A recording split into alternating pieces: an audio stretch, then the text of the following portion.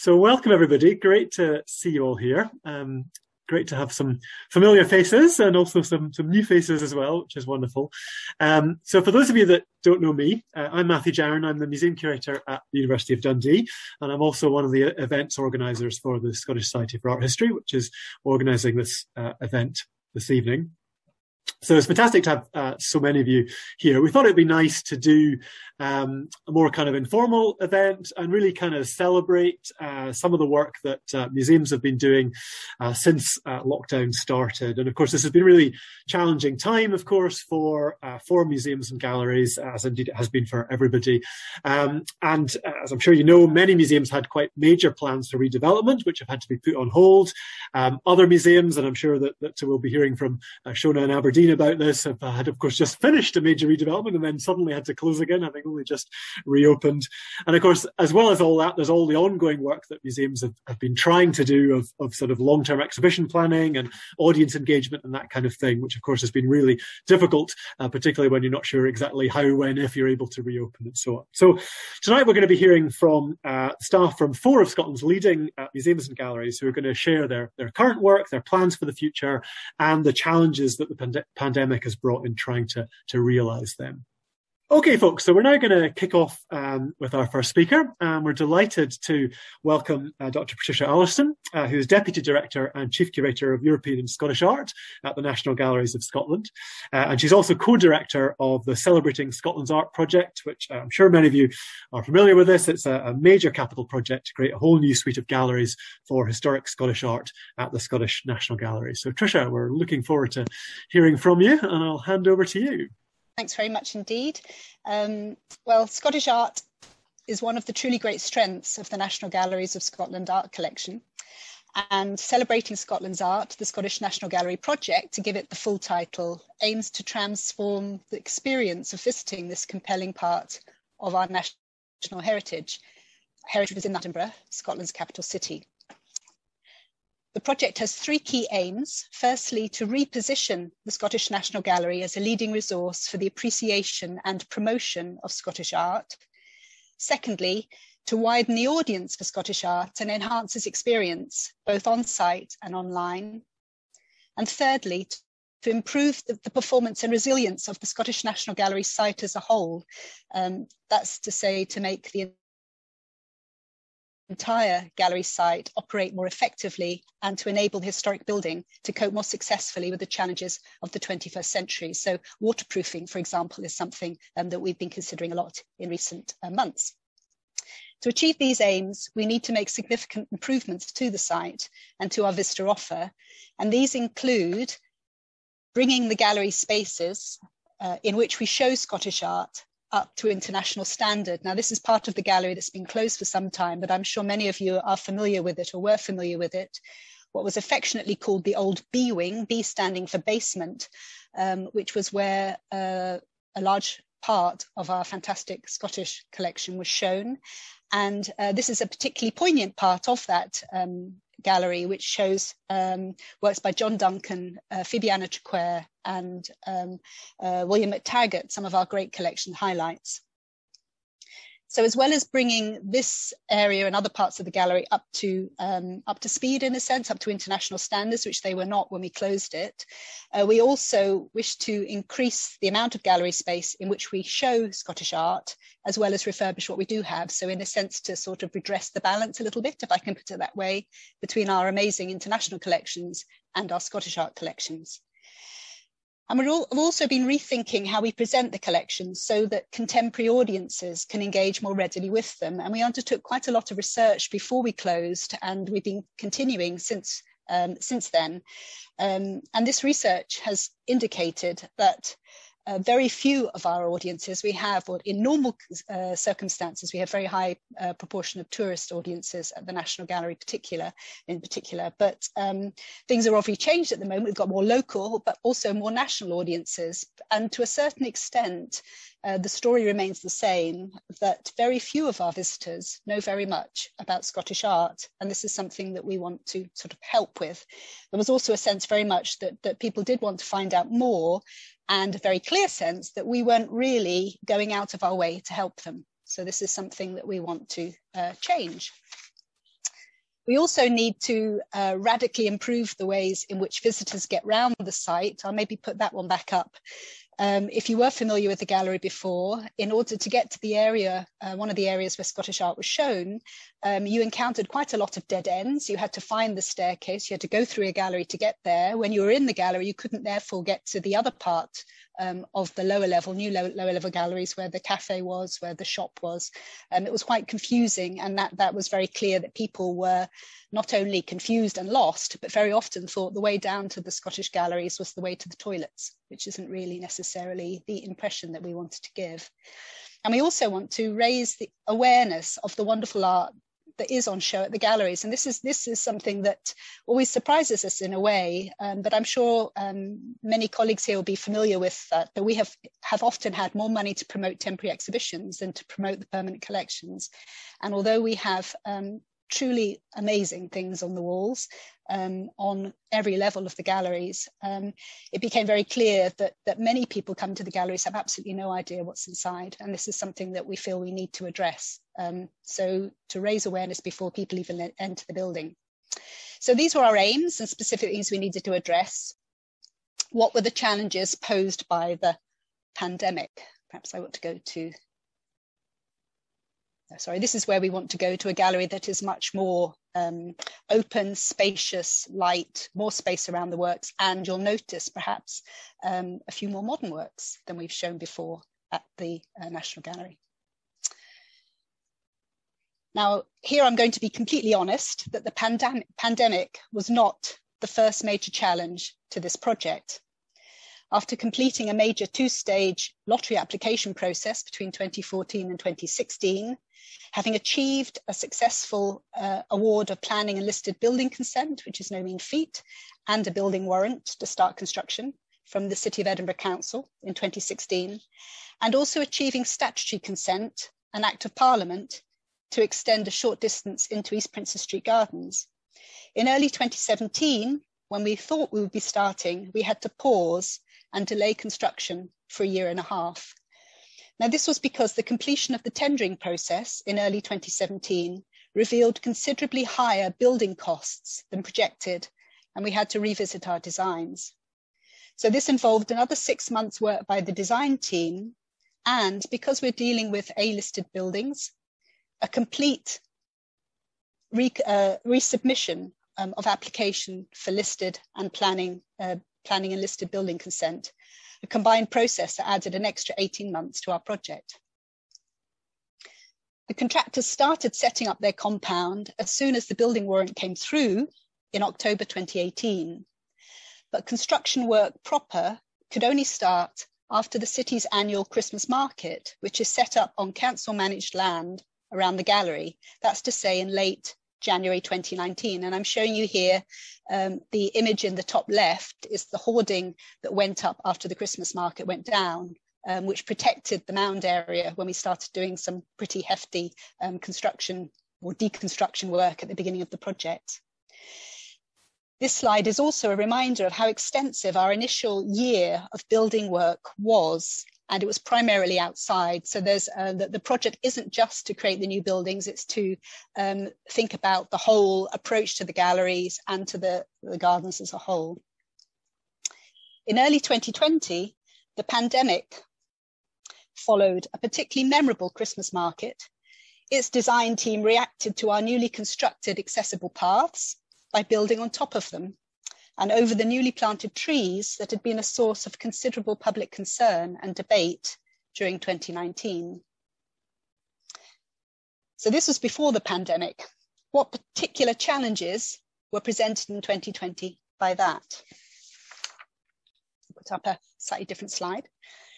Well, on the building site, as elsewhere, the contractors had to stop and go home. The construction site remained inactive from 9th of April to late June 2021 and as I'm sure fellow uh, speakers will agree, halting construction work is clearly not desirable when a major capital project is already underway.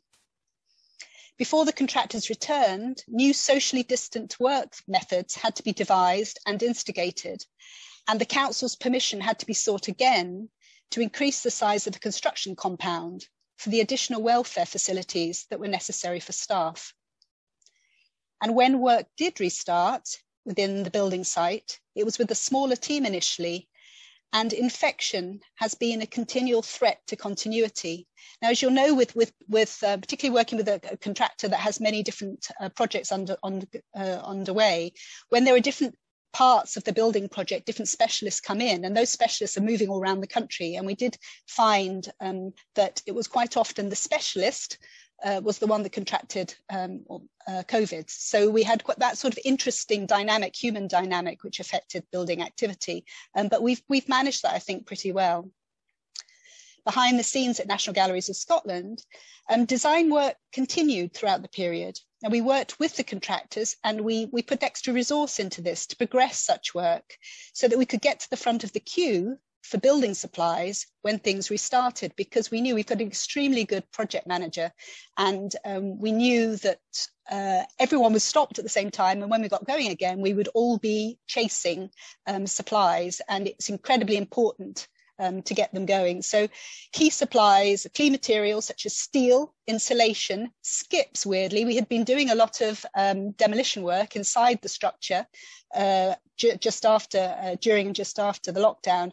And um, it proved extremely difficult to get the rubble away. And when you're in a city centre site, you haven't got a lot of space to store rubble. So that was an interesting uh, one. All National Galleries of Scotland's back of house staff, as we became labelled, such as myself, were sent home, and a relatively high proportion of curators and learning colleagues were furloughed, including the whole dedicated SNG project team, apart from the digital producer, myself, and our project manager. The National Galleries of Scotland as a whole focused very, very intensely on business continuity and reopening the gallery safely. And we did, for example, we have a big international um, lending uh, reach, and we had a, quite a lot of artworks out around the world which had to um, be brought back, and that there was a lot of work um, in that uh, type of activity. So from April 2020 onwards, most non-construction work on the project effectively paused. Research and display preparation work restarted in January 2021. We were all working a little bit on it, but we've really sort of picked up again from January 2021. And I have to say, we have a fantastic group of colleagues working on this project, several of whom have been employed specifically to do so. Two of them are in Orkney tonight, speaking at the Pier Arts Centre on the subject of the Scottish National Gallery and the pandemic. The pace and effectiveness of our work has been hamstrung by home working, however, We've also been unable to, to uh, meet together, which is one of the most enjoyable aspects of project work. And it's, it's not the same on Zoom or Teams as we use. Um, it's, you don't spark ideas of, of, off each other. It's, the social aspect of it is very different. So in a sense, one of the most enjoyable aspects of working on this type of thing has, has not been um, at its full over the last year. And we still do not have full access to our archives and libraries. But it's not all doom and gloom like the daffodils that I hope you can just see in the builder's compound in East Princes Street Gardens here in the spring of 2021, we've become rather resilient in this project. And I'd like to end by just highlighting some of the silver lining, I see it, that's come out of all of this. Over the past two years, our design team's virtual visualizations, and I show you one here that's in the top left-hand uh, corner, our design team's virtual visualizations again and again have become a tangible reality. And um, if you can see the, the terrace that's in the top right, this is very much part, it looks exactly like our um, very beautiful designs that we submitted when we, we put in our planning pack twice um, in previous years. The new accessible paths and landscaping are now in place, and they provide an accessible approach down into Princess, East Princes Street Gardens, which was not accessible before, and that was a problem for the council as well as for us and towards the Scottish National Gallery. And many, many folk are using this as a key feature. If you go uh, into the centre of Edinburgh, you can see. The elegant stone terrace is also now a physical reality. And visitors to the gardens have a range of new places to dwell and enjoy this pleasant green space in the busy city centre. And lockdown and social distancing has resulted in those new outdoor facilities being very much frequented. In a sense, we've got much higher traffic in this area than we expected, which in a sense is, is like the National Trust has been finding, is presenting its own issues. And I show you an image there for during the early part of lockdown, the, the Princes Street Gardens were closed while the gardens were being um, redeveloped, shall I say, after the Christmas market. So for a long time, people weren't given access, but they're very much um, part of the, the gardens now. Now, with a lot of us working at home, these changes have been more noticeable and increasingly noticeable each time we go on site because we're not there all the time. And this transition from design to reality augurs well, I think, for the internal part of the project. Now, behind the contractor's hoardings, work has continued steadily on the new gallery spaces since July 2020. And it was a bit frustrating earlier that those of us who had been used to seeing it were not allowed on site as part of the social distancing regulations. So there was a huge difference when I went back in July 2021 because it'd been almost a year since I'd, in fact, more than a year since I'd been on, on site, actually within the um, construction area. We've also taken advantage of the gallery's closure to un undertake certain necessary aspects of work, such as a lot of noisy demolition and the removal of the inner box in the foyer that you might be familiar at mound level, which impeded access to the building. Um, and I'm showing you an image at the top from um, the time of Timothy Clifford when the gallery was redeveloped in the late 80s. And below, they're not beautiful images because they were during the, the, the closure period, but just to, to show you the removal of the box that's there in the top um, right. And in one of the large empty galleries in the Royal Scottish Academy building, we've undertaken a major conservation project that needed space, and we didn't have space to do it before for celebrating Scotland's art. And that's the restoration, the conservation project of Robert Scott Lauder's Christ Teacheth Humility, a painting of, 1940, of 1847. And a film has just gone on YouTube about this, um, which um, uh, is um, I think it's, it, it, it, helps to explain very technical conservation techniques in a very accessible way Lesley Stevenson. Away from the construction site, uh, once back in action, our learning and digital teams implemented an extensive program of audience engagement initiatives, maximizing the opportunities offered by our digital platforms to connect people with our rich holdings of historic Scottish art. And if you're not familiar with them, there is an increasing series of short films and very short animations focusing, on specific works of art, which are um, really good, I think. I've not been involved in, in all of them. They're really interesting, very visual. And finally, as with many other uh, cultural institutions, the pause caused by lockdown has also given us a chance to review and reflect, especially after the tragic death of George Floyd, on the nature of our collection and the ways in which we present it, both now and in the future. Such reflection has helped to strengthen our conceptualization of our future displays. And there are other welcome um, results, in a sense, of things that had to happen during COVID and during the lockdown, during the pandemic. It's given us a rare and very welcome opportunity to gather feedback because we had to instigate a new online booking system, which we didn't have before because of social distancing. And this has been a revelation, um, the amount of information we've had about visitors' experiences coming around the gallery.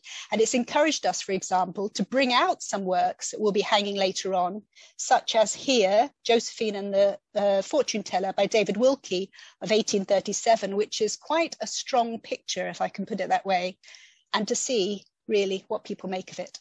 Thanks very much. Thank you so much, uh, Trisha. That was really interesting. And it's great to hear about, I guess, both the expected challenges and the unexpected ones as well. I, I don't imagine anyone think, thought that the shortage of skips would be an issue.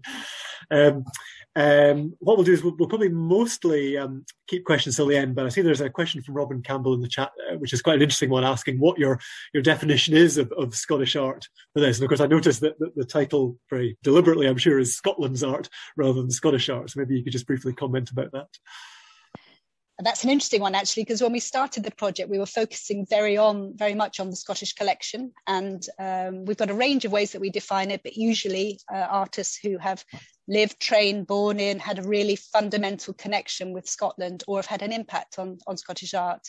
Um, but um, particularly with the, the shift that I mentioned in 2017 when we had to revisit the designs um, we looked much more at the building as a whole so in a way we're and connecting all parts of the collection much more. So Scotland's art um, can can refer to both.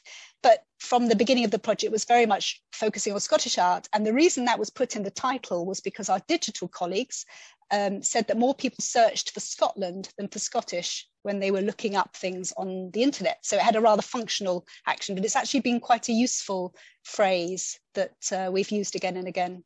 But this is very much, I would say, about Scottish art. Really interesting. That's another thing. I would never have thought about that, actually. That's really interesting.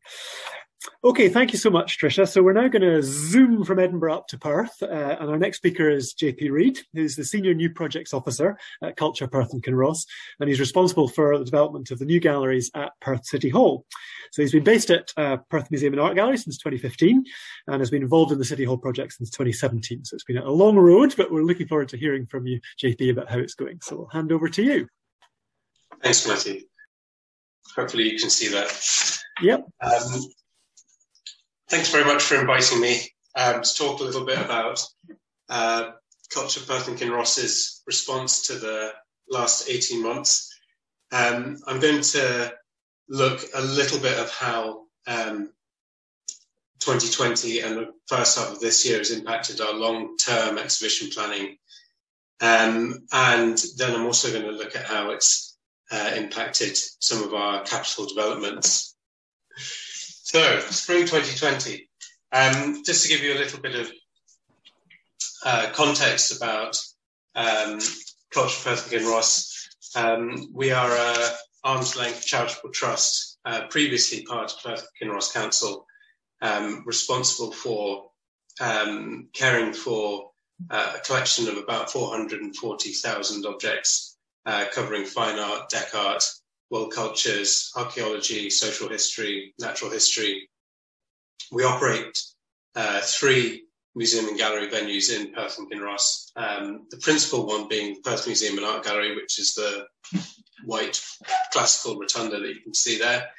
Um, the Ferguson Gallery, which houses the works of um, the colorist John Duncan Ferguson, um, alongside um, work uh, and collections um, attached to his partner, the pioneering dancer Margaret Morris, um, and a small um, folk museum uh, in Strathmore at Alyth. We run uh, a program across a, t- a temporary exhibition program across the three venues. Um, and in spring 2020, we were programmed to the end of this year, the end of 2021. Um, the highlight of the 2021 program was um, a major um, loan heavy uh, exhibition celebrating the centenary of the birth of Joan Eardley. Um, and um, I'll focus on, on how COVID's impacted our planning um, and delivery for that project. Um, aside from operating the temporary exhibition program and uh, associated public programming and collections care, um, we're also uh, involved in three uh, capital projects, all of which were quite severely impacted by COVID. Um, these comprise the redevelopment of Perth City Hall um, into a, um, a, new museum, um, the refurbishment of uh, the existing Perth Museum into a dedicated art gallery, um, and the development of a new dedicated collection store. So, spring 2020 happened and everything changed. Um, and our 2020 program was effectively ripped up. Um, we were we had planned a, a mix of uh, touring exhibitions, um, in-house generated uh, displays, uh, relying predominantly on the the uh, permanent collection, and some loan-heavy exhibitions uh, like the Eardley exhibition. Um, although um, in March 2020, when we went into our first lockdown, Eardley was more than a year away. We, the original slot for, for the Eardley exhibition was May 2021 to coincide with, um, with her birthday, the centenary of her birthday. Um, the intervening um, months of um, furlough, uh, staff redeployment, um, intermittent reopening, restricted access has meant that um, what seemed in spring 2020 like um, a, a, possibility that Eardley would be moved became a, a, a definite reality by um, by the latter by autumn 2020. Um, this saw uh, a significant process of uh, negotiation um, with lenders, um, lenders across um, multiple venues and across the UK who were um, also dealing with their respective access um, restrictions um, and, uh, in some instances, furlough. The as as May 2021 came closer and closer, um, our turnaround for reopening got shorter and shorter, and um, basically the the lead in for for for the grand reopening after uh, the second lockdown in, uh, in in at the beginning of the year um, meant that we were looking at an extremely compressed slot um, for the Eardley exhibition, and we had to take the, the, the decision at that point um, to move the, the exhibition to the end of the year. Um, we'd reached a point where we, um, and Matthew will know this as one of the lenders um, to that exhibition, um, we were relying so much on um, the capacity and goodwill um, of others. Um, in some instances, it was completely untenable because there might be furlough, for example, or because staff couldn't access the objects to assess condition um, or treat them in preparation for, for uh, transport. When it came to um, redesigning that exhibition, we had to accommodate the fact that audience habits had changed. Um, the, the, bottom image of that slide is, was the original design um, for the Eardley exhibition. And um, we, we're since coming to terms with the fact that the way people are um, negotiating um, the space, um, their expectations about uh, social distancing, our obligations for their safety, um, one way routes through galleries, all of this is completely transforming how we are designing and building ex, uh, exhibitions and how um, uh, layout is impacted and how uh, the interpretation or the narrative flow through the space is being um, uh, adapted. And then there's the inevitable communications roundabout where you try and publicize an exhibition and you try and ensure that you're publicizing with enough lead in time, but at the same time, um, buying yourself enough contingency time so that if in which we found we've had to change dates or we've had to move uh, venues, um, the, that message is clear and understood by um, your your visitors. The before I move on from Eardley, I should just say that it is still uh, it is still opening in 2021 and we were really keen to have it in the centenary year. So um, that exhibition is now scheduled for uh, November um, to open in November. Um, aside from the ongoing uh, temporary exhibition program at Perth Museum and, and, uh, and Ferguson, um, we've also spent the last uh, five years um, working on the development of Perth City Hall as a, as a new museum venue. Um, this is a building that has quite a complex backstory. Um, it effectively became redundant um, as a concert hall um, and a civic hall um, when the new Perth Concert Hall opened about 15 years ago. And it's been through various project or proposal iterations since then. At one point, it was going to be a hotel. At another point, it was going to be a food hall. It was going to be demolished. Um, and from 2017, um, we've been developing it. Uh, we're de- developing designs um, for it to be a museum, museum which um, tells the story of uh, medieval uh, uh, Perth as a major early medieval um, centre, um, and the broader story of Perth and Kinross um, from the Mesolithic uh, to the present day, relying heavily on our social history um, and archaeology collections, but drawing an interdisciplinary approach um, uh, from the rest of the collections. Um, by spring 2020, we were reaching the final stages of, of design. Um, the and then everything stopped. The whole project, as far as our input was concerned, was more or less uh, suspended. Um, the principal funders uh, for the project are Perth and Kinross Council, uh, along with um, funding from uh, Holyrood and, and uh, Westminster governments through the Tay Cities deal. At um, the point of lockdown, only Perth and Kinross Council's um, funding was committed because the Tay Cities deal um, hadn't been signed. Um, for most of 2020, the Holyrood and Westminster had bigger fish to fry. And because of the resultant pressures on uh, and Kinross Council's budget, uh, there was a point where the project was under threat.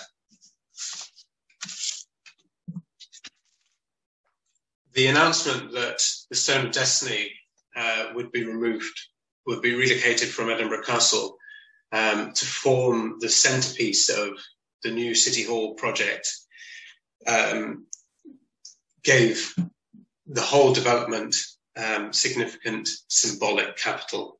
Um, that was towards the end of 2020. Um, and uh, City's deal funding was um, agreed shortly after. The structure, thinking about what uh, Trisha was saying about skips and materials, um, the the the structure on the right that you can see in the in the architect's render is a is a new uh, intervention in the main hall, and we found that actually we've been quite fortunate in where the project stopped because um, we've we've found that um, with the tail end of the design process still in train, we've been to an extent able to respond to um, the challenges around um, availability of materials and uh, increased cost. So, for example, there's an ongoing conversation um, in design meetings about the material that will clad that uh, what will eventually be a three-story um, temporary uh, set of temporary galleries. So, in some ways, we were quite fortunate in where the where the, the project um, was paused. Um, I'm very pleased to say that the project is now back in back um, in train with a new um, prospective opening date of 2024 um, and construction starting on site in Feb uh, uh, uh, started on site in February. The two other strands of the project that I just wanted to touch on because the, the COVID has had a significant impact um, uh, are the conservation program and the engagement program, which I'll move on to. The conservation program um, is really dealing with the 7,000, approximately 7,000 uh, objects from the collection, which will go into the permanent galleries at the new City Hall. Um, having appointed uh, a, uh, a, conservator, the first conservator that Perth Museum has ever had, um, and having created a conservation lab um, so that we could assess and do basic treatment and cleaning in house. Lockdown, of course, meant that all access closed and that conservation um, program was paused. Um, that also meant that any remedial work that was going out to studios um, for more complex treatment also paused because we couldn't access the collections any volunteering or um, student placements stopped. um, we started the frantic process of negotiating um, or renegotiating timescales with um, funders. Um, and um, uh, as you'd expect, all funders have been extremely generous and accommodating and understanding. Um, coming out the other side, we're finding that costs have gone up almost across the board. and our remedial projects um, have gone up by approximately 5%. Um, that said, the conservation project is back on course and w- with the extended project timeline is not really a concern anymore. So that this presentation is not just a long list of grievances, um, there are some positives that have come out of um, our experience and um, we found that uh, the engagement program has uh, encapsulated a lot of a lot of those and a lot of the learning um, and new ways of working that we've developed. Um, one of the one of these is around partnerships and um, the way that we've been able to sustain partnerships throughout lockdown. Um, the image on the in the top right um, is of the uh, one of the one of the star objects in our collection, which is a, a, a Maori um, kakapo cloak, um, which is being conserved in consultation with uh, Te Papa Tongarewa and the British Museum.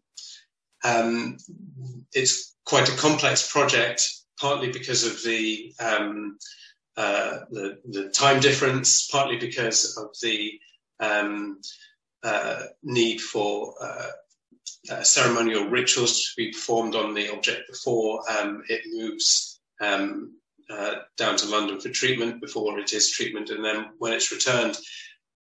But this is a conversation that we've been able to continue having um, in lockdown because of this newfound familiarity with remote conversations and remote working.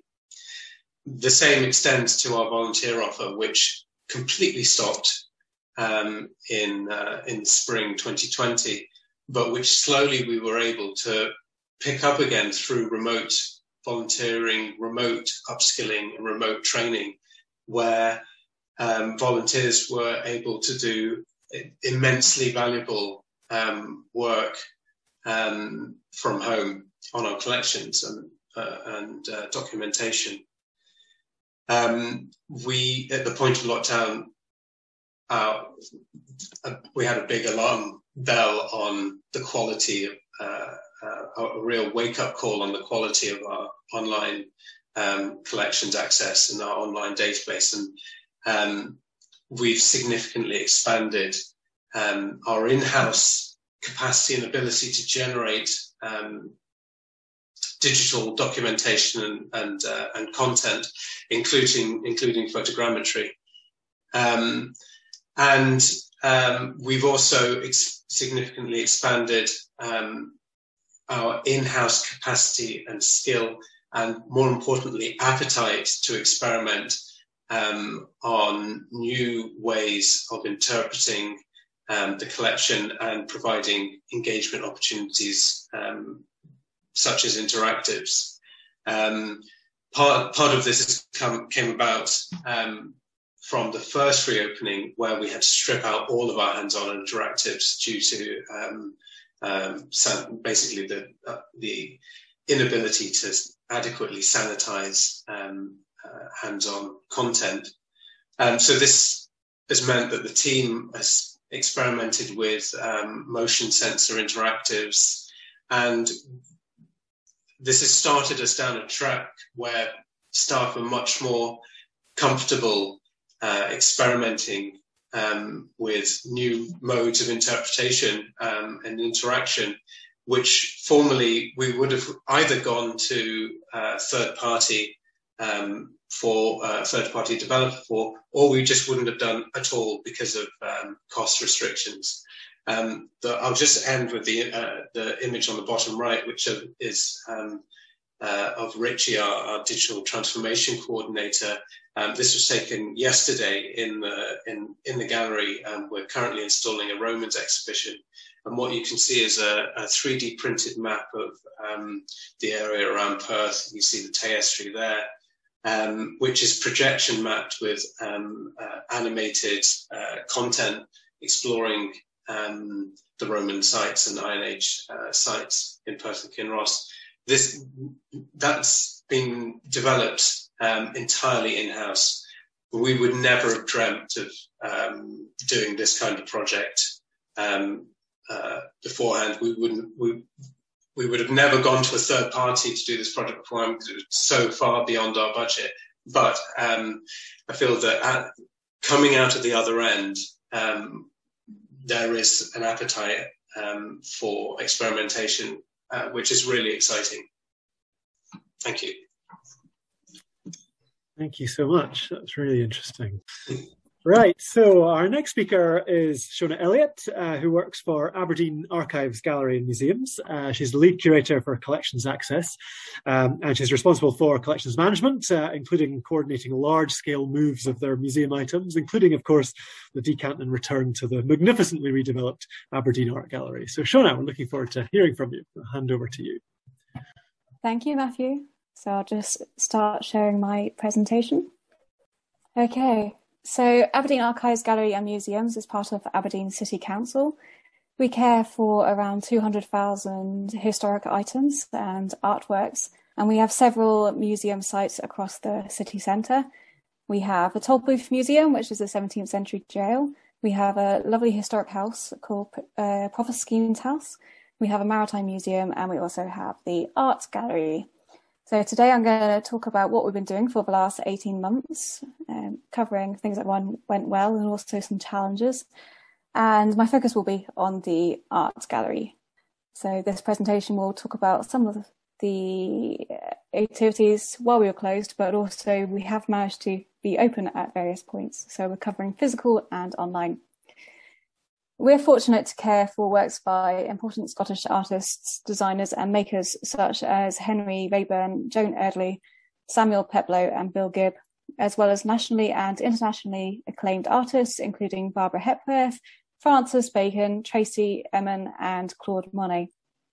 We closed back in 2015 to enable us to redevelop the art gallery so that we would be able to showcase more works, improve access, and preserve the deteriorating building. This involved decanting all collections, adding an extra floor uh, to the site, and also creating completely new exhibitions. So it was a really large project for us.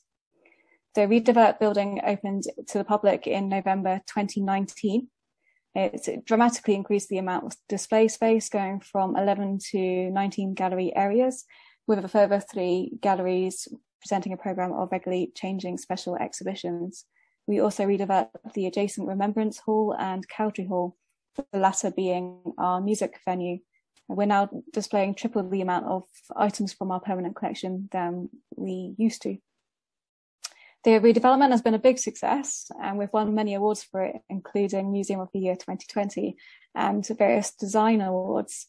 However, with the pandemic, we had to close Aberdeen Art Gallery at the end of March 2020 after only five months of being open to the public. And our engagement work shifted exclusively to online engagement and printed articles. Fortunately, we were able to reopen at the end of August 2020 after the initial COVID lockdown.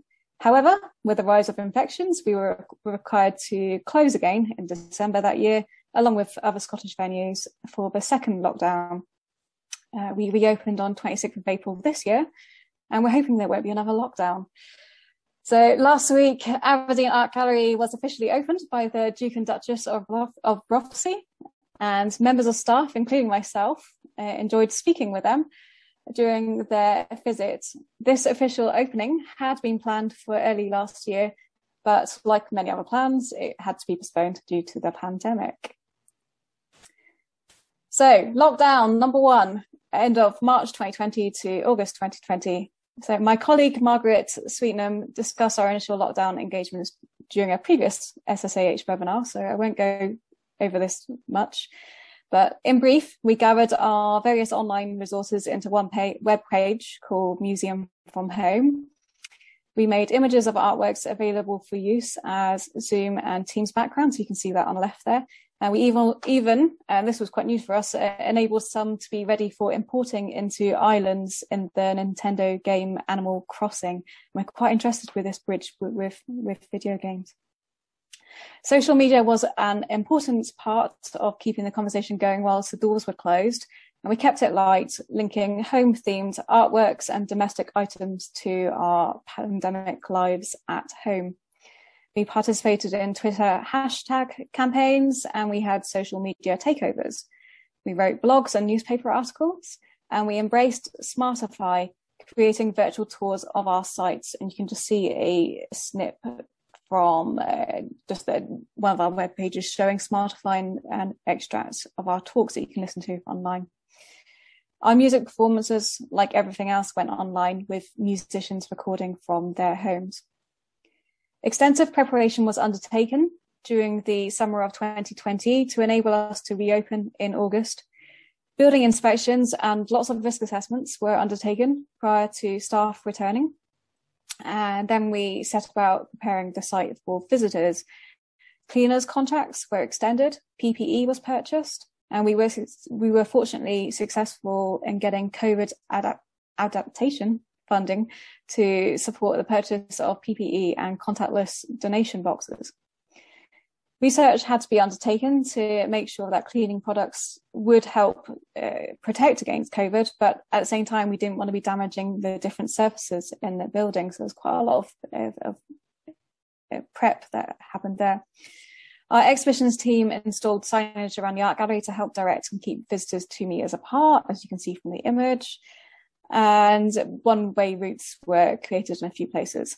We designated maximum numbers in spaces and interactors were turned off or removed where possible. And then we opened, which was great. So we reopened in August 2020. Uh, after the local lockdown, just an extra one to, to kick in. We had Aberdeen went to, to lockdown again. Uh, our exhibition's schedule had to be adapted several times because of the pandemic but we were thrilled to exhibit the BP Portrait Awards. And members of staff working from home recorded spotlight talks about the artworks, and we were all busy having duvets over our heads so we wouldn't get lots of echoes while we did our, our recording. Uh, we also had time to install a small exhibition highlighting the, the work of All for One, which is a group of ladies who had recreated some of our artworks in spectacular style and so we could actually have a small exhibition uh, showing the, the works that they've done and their take on as well as as what they'd come up with. So this could have all been quite challenging with, with, curators still working from home and we actually did we needed to do some costume changes across the whole site uh, to help preserve the outfits but our exhibitions team um, were fantastic. They were on site. Uh, they quickly adapted to checking and mounting costumes whilst liaising with curators via Microsoft Teams meetings. And it's not easy to work out how to be mounting these really complex outfits uh, virtually, but yeah, it went, it worked well. We launched a COVID collecting initiative in October 2020, and you can see a, a nice image there of a strawberry. and my colleague uh, helping promote our new project, giving examples of their home life during lockdown. So our COVID collecting initiative in October 2020 was an appeal to city residents to help curators build a new collection, showing how our everydays have changed during the pandemic. Uh, we promoted this scheme online. We received many offers and we just started physically taking in the items. We were delighted to hear in that month that we were joint winners of the Museum of the Year 2020 awards and we used decided to use the prize money for two rounds of micro commissions to local artists and makers to create new works inspired by our collection. We're looking forward to sharing new works uh, towards the end of this year. And as part of the Museum of the Year celebrations, musician Evelyn Glennie and Alison Watt, the artist who you can see in the middle there, uh, compiled art-inspired playlists for us that we shared online. Although we were open at the end of last year, we were still keen to maintain and extend our online audience. And we spent a lot of time improving our website, um, just like JP. The, the new website was launched in October 2020 and it offers greater access to and understanding of our collections. For instance, we improved our search functions and we now have collection selections. You can see a little example over there, like summer selection and Bill Gibbs selection. Uh, we've also, uh, sorry, these selections provide links to images and records for our collection items grouped into various themes. We've also created highlights and we've attached audio to some of our records. We've added lots of online resources for school children on our website and to Google Classroom. Lockdown number two. So that's December 2020 to April 2021. So the uh, nation went into lockdown again and we had to remain closed until 26th of April. We began running online exhibitions showcasing our collections starting with an exhibition to commemorate 150 years since the death of artist James Giles. Although we'd hoped to physically install it, the digital offer worked well, enabling us to provide access to images of works by Giles in our collection. Our digital exhibition also provided links to a YouTube talk about it from our lead curator of art and a series of blogs contributed by individuals with personal or interesting connections with Giles. As well as running online exhibitions, we began hosting online talks, beginning with interviews with the BP portrait artists. We ran a virtual symposium in March this year in, in collaboration with Gray's School of Art, uh, focusing on the fashion designer Bill Gibb. It was a larger undertaking, uh, but the event was well attended and a big success, attracting people from really uh, far, far across, uh, far field places. And we had a variety of presenters and also interviews with Bill Gibbs' sisters. And finally, uh, moving on to the 27th of April onwards, we, we're back open again and have been since since April. And we have a new addition to the gallery, a shop at the top on the top floor, as the name suggests. The latest edition promotes and supports the work of artists, designers, and makers living and working in AB postcode areas the shop features three to four makers at a time uh, on a three month rotation, uh, who each then nominate a maker for the next slot. And it's proving really popular with the visitors. Uh, it's lovely to be supporting local creators. We successfully hosted the British Art Show 9 from July, and this has helped attract people back to our site. Uh, we also ran a second round of micro commissions. So you can see uh, a photo of, of Uh, one of the awardees. Even though we've been open since April, we've continued to run online events.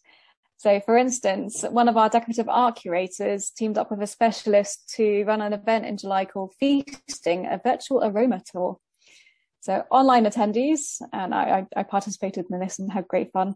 Uh, we received scent sticks in the post and sniffed them during the session while learning about our feasting exhibition at the art gallery, uh, which is full of teapots and you know various dinnerware and um, food containers. So we were sniffing you know chi- uh, sticks that smell like chicken and things like that. And we've also just experimented with a cook along session where attendees made food during a Zoom meeting whilst learning about some British artwork, uh, British art show works that have been paired with the, the meals that we were making.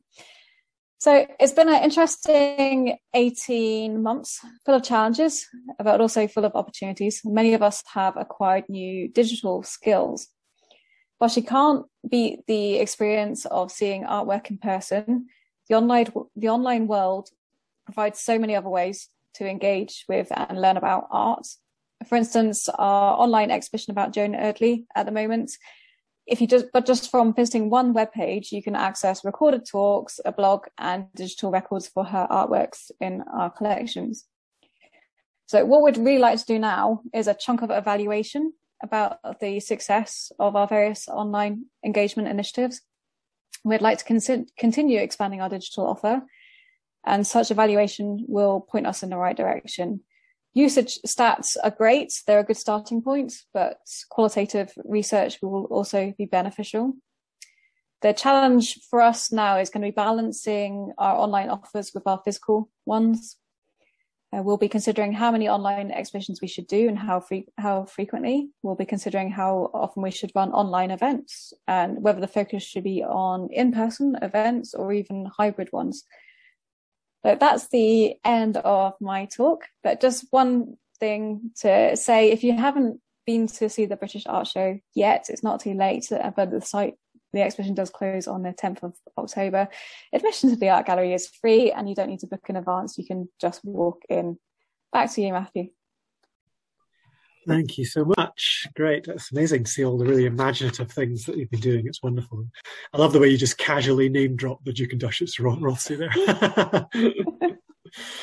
Okay, we're going to move on to our final uh, speaker, and we're heading to Paisley. And we have a slight change to the, the, the, build program. Originally, Neil Bristow was going to give this talk, but sadly he couldn't be here today. But we're delighted that at very short notice, uh, Laura Hamilton kindly agreed to step into the breach, uh, and so she, she's going to be uh, speaking to us this evening. So Laura is the creative learning worker at Paisley Museum, part of uh, Renfrewshire Leisure. And the museum, as you may know, is currently undergoing a big HLF-funded uh, capital project called Paisley Reimagined. And Laura's main focus is helping with the coordination, co-creation and delivery of cultural and learning experiences and activities for both informal and formal audiences. So Laura, we're looking forward to hearing from you and I'll hand over to you. Hi uh, everyone, thanks so much for inviting me along and please bear with me and again sincere apologies that uh, Neil Bristow couldn't make it this evening. Um, so I'm hoping that everybody can see my slides okay, um, yep. hoping they've loaded up all right. And we'll really, uh, I suppose, we're already closed. Uh, this was the challenges of engaging audiences during lockdown and beyond. Um, so just to give everybody a little bit of background, uh, Paisley Museum had actually closed uh, in 2018 and it's part of a Paisley Reimagine project which is a 42 million pound um, project which is being funded by Heritage Lottery Fund um, and also Renfrewshire Council. And it's We've appointed ALA architects uh, who have been creating a really exciting new vision for the museum and really redesigning uh, and creating new spaces and reinterpreting some of the existing spaces.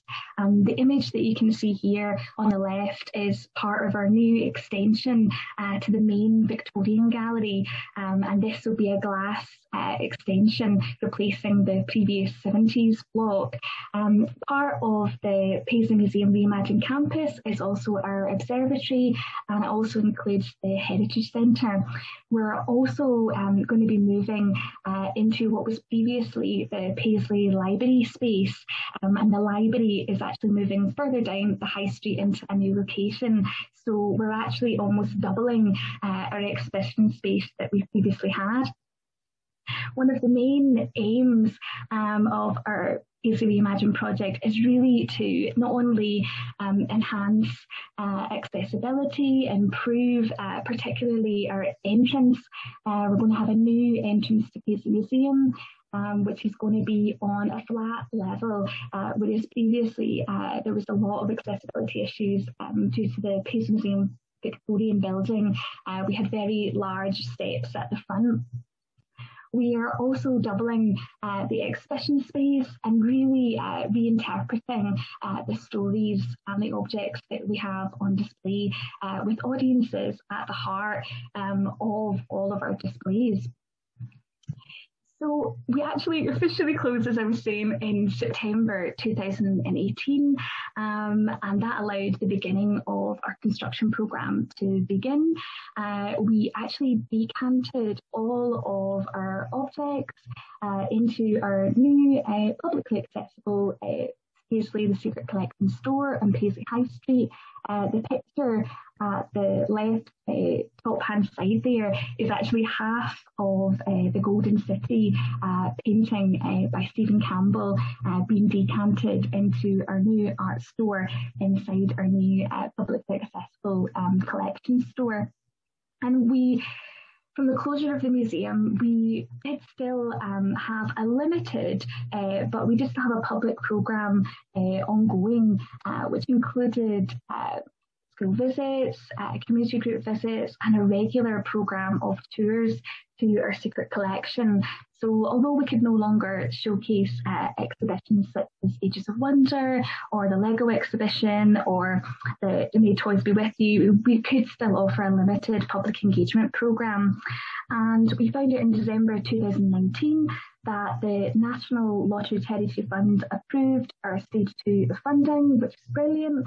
And uh, in March 2020, we were all preparing to deliver our activity plan program, which was predominantly face-to-face uh, activities and events that were going to be taking place um, within our secret collection and also in our other venues across Renfrewshire Leisure. So unfortunately, uh, the pandemic hit in March 2020, and unfortunately, we immediately had to close uh, the secret collection. Uh, as I say, the museum was already uh, closed.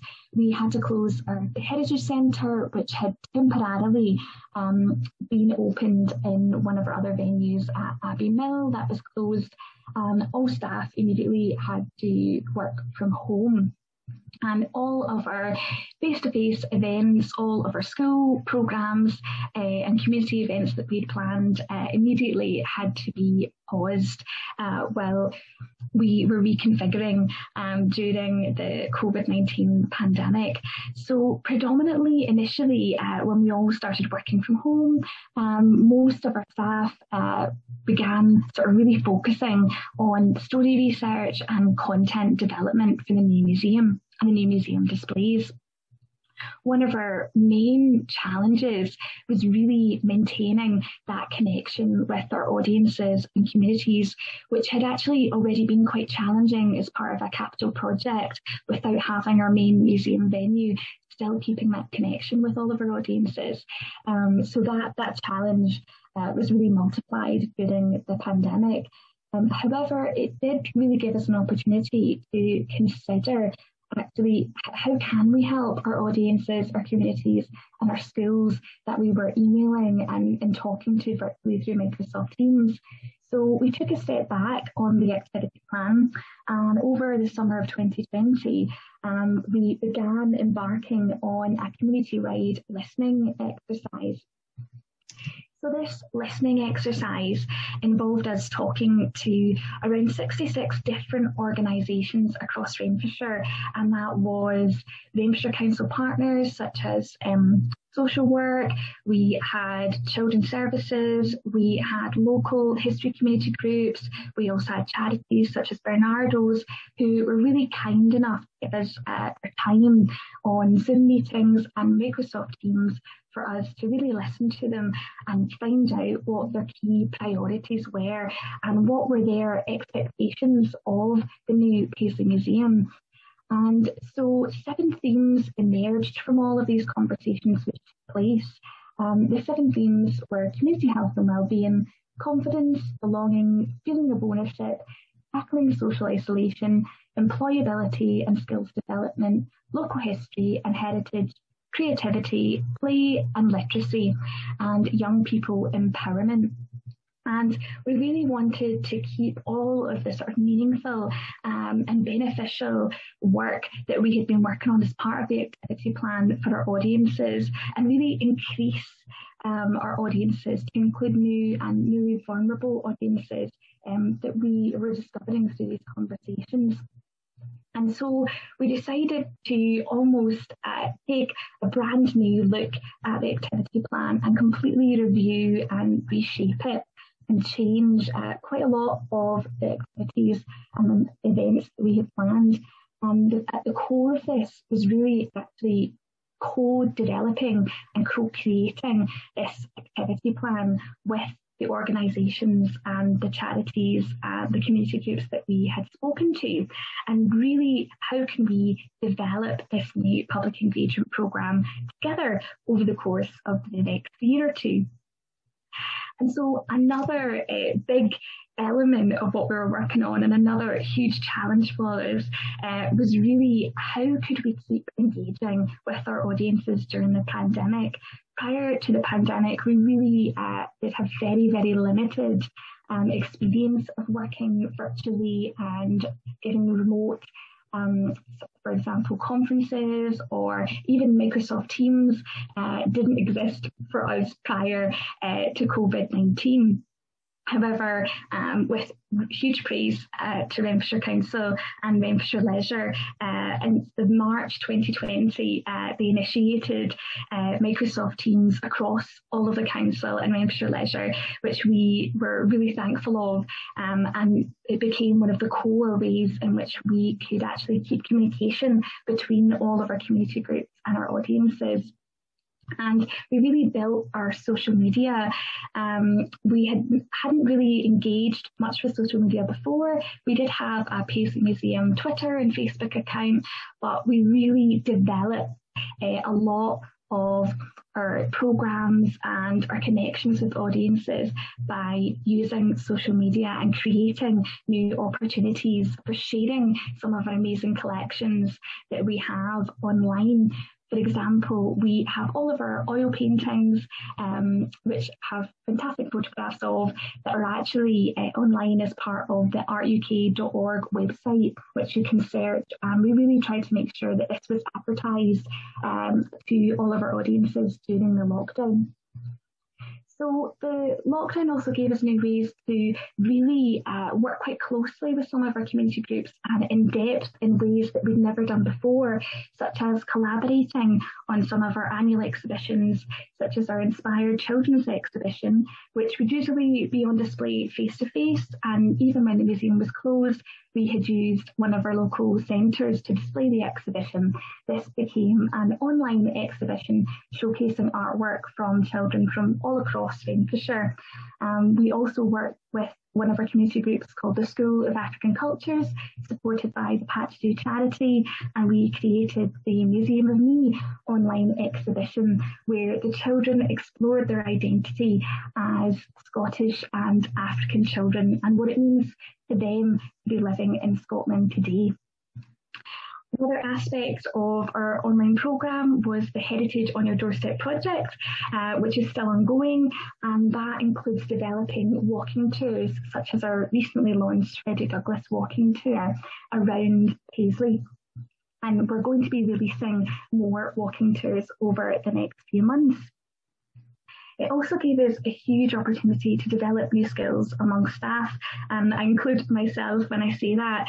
Um, as I've mentioned previously, uh, we didn't have much of a digital offer prior to COVID 19, and we were able to really develop staff skills um, using Zoom, using Microsoft Teams, also uh, creating 3D models some of our collections using some of the 3D software that we were able to acquire, creating videos, um, a whole host of brand new digital uh, skills that we had never been able to develop before um, had we not all had this time during lockdown.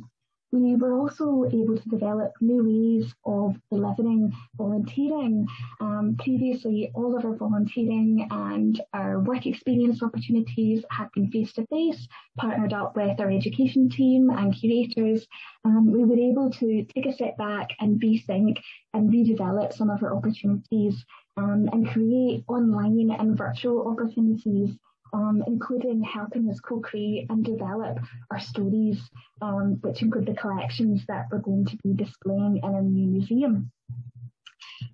And so the challenges and next steps. So we are having uh, quite a challenge at the moment of reopening our secret collection and the Heritage Centre to the public. Uh, Paisley, the Secret Collection Centre, is actually uh, based in a basement location, and unfortunately, there are no windows um, and very limited access. Um, there is also limited space within the Secret Collection, as all of our objects from Paisley Museum are currently stored there. And so social distancing um, has really been uh, an issue uh, for reopening the secret collection as well as air ventilation.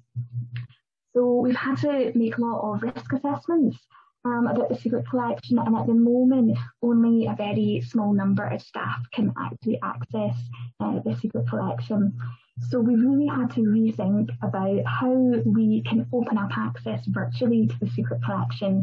And we're in uh, the process of creating virtual tours for the secret collection so that the public can actually see some of our amazing collections in each of our storerooms.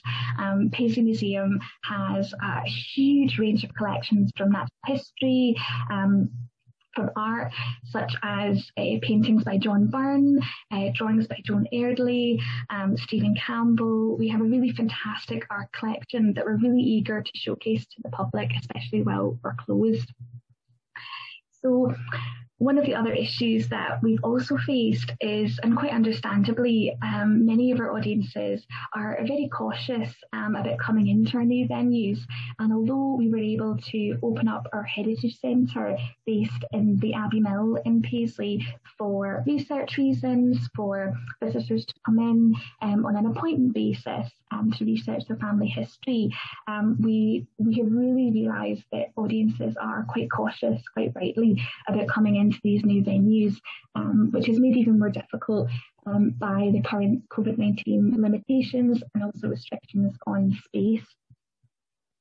So we're working very small steps forward. Um, we are really focusing on our co-production work, um, and that is working with the 66 organisations as part of the listening um, exercise that we undertook during 2020 to actually co-create um, and really build upon the work uh, that we had started, and that's designing our public programs. So that's the events and the activities that we want to run when Paisley Museum reopens in 2023. Over the course of the next two years, we're hoping to trial out these activities and events in venues across Renfrewshire. And the pandemic has really made us consider how we use our venues across Renfrewshire and Renfrewshire Leisure.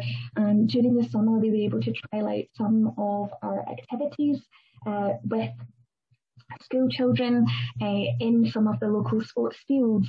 Um, so actually thinking about how we use our spaces differently and if face to face inside the secret collection isn't possible, how can we bring our collections and our collections knowledge and excitement of all of the exciting things that are happening at Paisley Museum out into the community, whether that's using some of our new sports centres, some of our new sports um, centres pitches, such as football pitches, and also uh, in some of our library spaces and other uh, community spaces throughout Renfrewshire. Um, also really thinking about how we develop upon our online and physical face-to-face program and developing a hybrid model um, so that we're really meeting audiences where they are. If audiences feel more comfortable meeting us online, that we can make sure that we can facilitate that as well as us being able to bring the museum out into the community and meet people where it's easiest for them. We are also continuing to develop our audience research um, and public engagement and stakeholder involvement in preparation for our reopening in 2023. Um, for most uh, of last year, um, if anybody was in Paisley, uh, people might have wondered what was happening um, with the Paisley Museum Reimagined project. However, I'm really excited to say uh, that the builders have been on site over the past month and progress on the internal structure of the building is, is really starting to begin and is very exciting. And this on the right hand side, this image here is an artist's impression of the new front entrance, level access entrance to Paisley Museum which is just now going to be at the left hand side of the Paisley Museum building.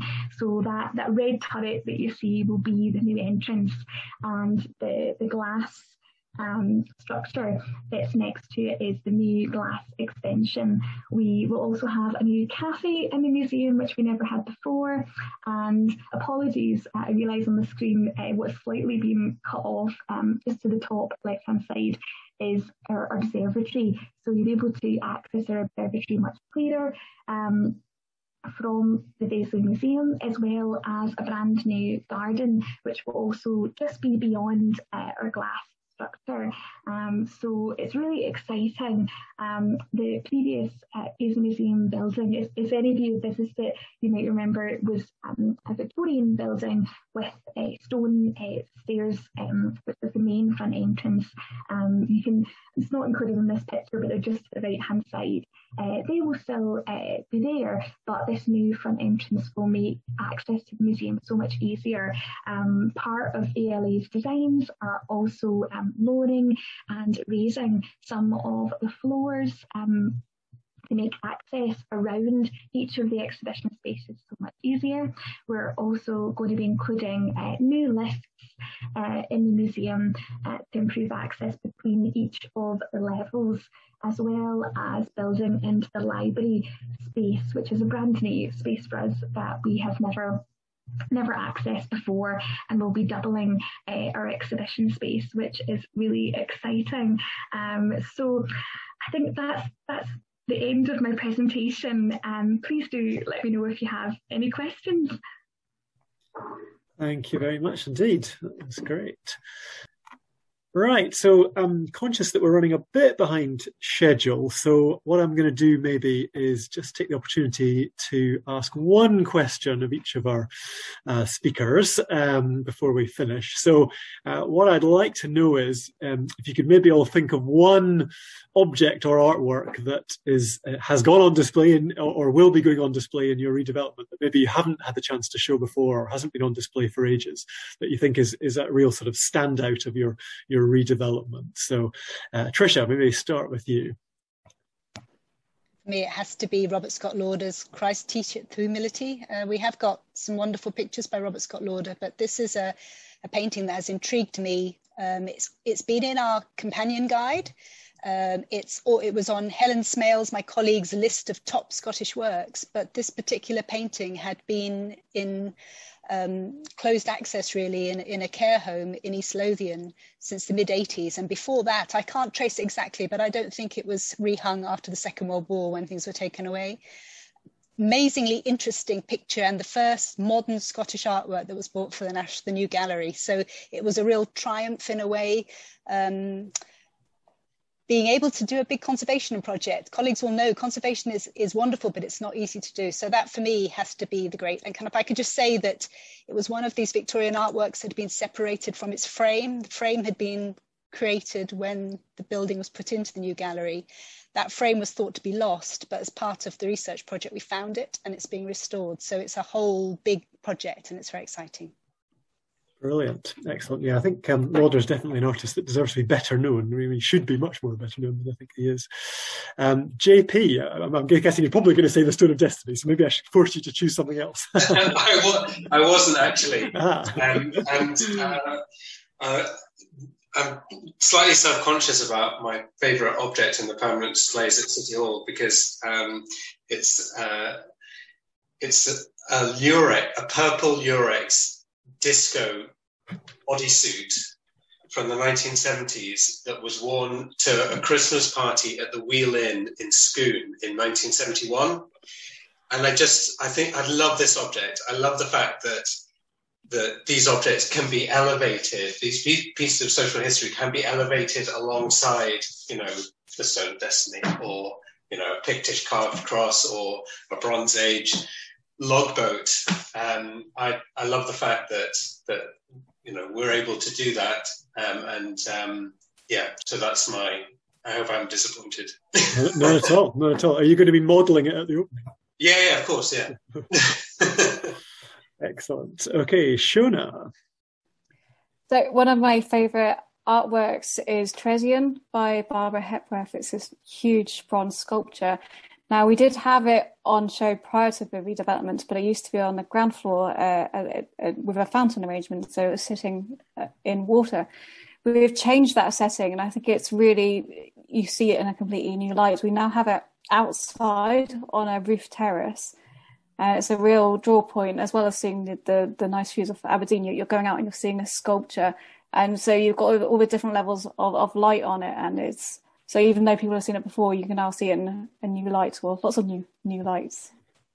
Brilliant, excellent. Yeah, I'm really looking forward to coming up to visit. Um, and finally, Laura. Think selfishly, I'm probably going to have to choose the, the Golden City painting um, by Steven Campbell because I know it wasn't very clear in that image that I showed, but that was only half of it. The sheer scale of the painting is incredible. And previously, we were only ever able to display it in the Paisley Museum exhibition galleries a handful of times just because the scale of the painting and, and the weight of the painting um, on the wall. So I'm really excited that it's, it's actually going to be on display um, in all its glory in the new museum. And at the moment, um, it's it's in our secret collection, and it's actually it's it's one side is on one half of the art store racks, and one side is on the other half, and you can only see it fully if you if you open both of the racks together, and even then some some of the, the painting is still obscured. So I'm actually quite excited about seeing the mm. real painting put together again in 2023. So how many people does it take to move it? Believe it or not, it took eight people to, to move it out of the Paisley Museum, out of the, the store in the Paisley Museum, and actually bring it down the stairs. Um, and it took several hours. Um, Paisley Museum is, is, if you were to walk it, it's only about an eight minute walk from the museum down the high street to the store, but it actually took several hours get it physically out of the museum down uh, two sets of different stone stairs inside and outside the museum and then loaded safely into the truck before being transported around uh, to the new secret collection. So it, it, was quite a feat I, I just watched uh, the, our technical team uh, did all the hard work Brilliant. Excellent. Well, uh, definitely looking forward to seeing that. Uh, so I'm aware that there are some other comments in the chat, but uh, I'm also aware that we're rather late finishing, so we do want to draw things to a close. I'm sure you're all desperate to go home and get your tea. Well, you probably are home, but you can immediately go home and get your tea. Uh, so just a big thanks to all of our speakers. I think you'll agree it's been a really fantastic evening, and and you know just a, a testament, I think, to the, the, the amazing talent and determination and inspiration and all the other things that uh, that are going on in in Scottish museums at the moment. Um, also want to thank Lucinda Lax, who's been sort of behind the scenes doing technical support. So thanks very much for that. Um, uh, I should put in a plug for uh, one of our upcoming SSAH events uh, on the 23rd of November. Uh, we have Elizabeth Cumming giving a, a, talk about Robin Philipson, so do look out for that. That's a members only event, so if you're not a member, uh, then it's a very good incentive to join. Uh, go to our website, ssah.org.uk, for details on membership. so thank you all very much for coming. Great to see you all, and enjoy the rest of your evening. Cheerio, everybody.